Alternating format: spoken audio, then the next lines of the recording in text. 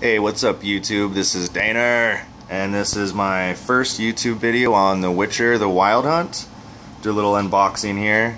I uh, just did a pre-order on this from Best Buy, and I'm actually really looking forward to playing I'm going to be doing some videos and some walkthroughs, and uh, I just wanted to do a quick unboxing on this, if I can get it open.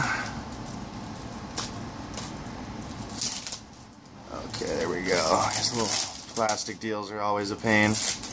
The set on the cover, there's some movie, there's some posters and stuff, so just wanted to show everybody that really quickly before I start doing the uh, long download process to be able to play this thing. Uh, there's always downloads and stuff when you first get a game, so First of all, gamer, uh, we would like to thank you for your support. We really appreciate that you have decided to spend, blah, blah, blah. If you want to read that, you can pause it.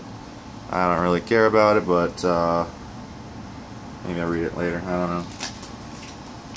There's a map of sorts, or some kind of poster. You can see that really well. Let me get, try to get a spot where you can see it.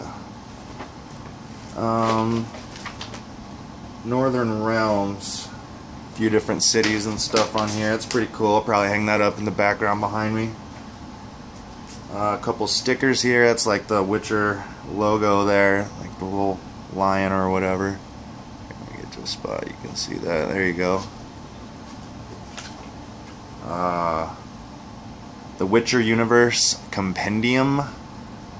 Whatever that is. Like, uh, when you got a Nintendo game, it had a little booklet like this with just like little backstory and stuff. That's kind of cool. It's kind of nostalgic of the uh, old school Nintendo. Another one, uh, this is the actual game manual, which is kind of cool. You don't really see that in games anymore. It's usually like there's a card that says, you know, go here to download or whatever. Download the manual, but so that's pretty cool. Uh, just wanted to do a quick unboxing on that. This is what the uh, CD looks like. Anyway, uh, stay tuned for uh, more videos. Please subscribe, and uh, thanks for watching.